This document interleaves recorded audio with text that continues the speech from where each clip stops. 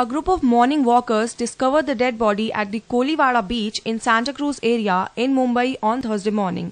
It was not clear whether the body was dumped at the spot and had washed ashore. There were clothes missing from the woman's dead body at the time of recovery. Her head was buried in the sand and was found lying on her stomach. सुबह morning walk के जैसे public यहाँ पर आती है हम लोग भी यहाँ पर ही आते हैं In morning, we came here for a walk. From far away, we saw and thought it could be a fish. but when we observed closely, there was a female dead body. Police arrived around 8 am and took the charge of the corpse.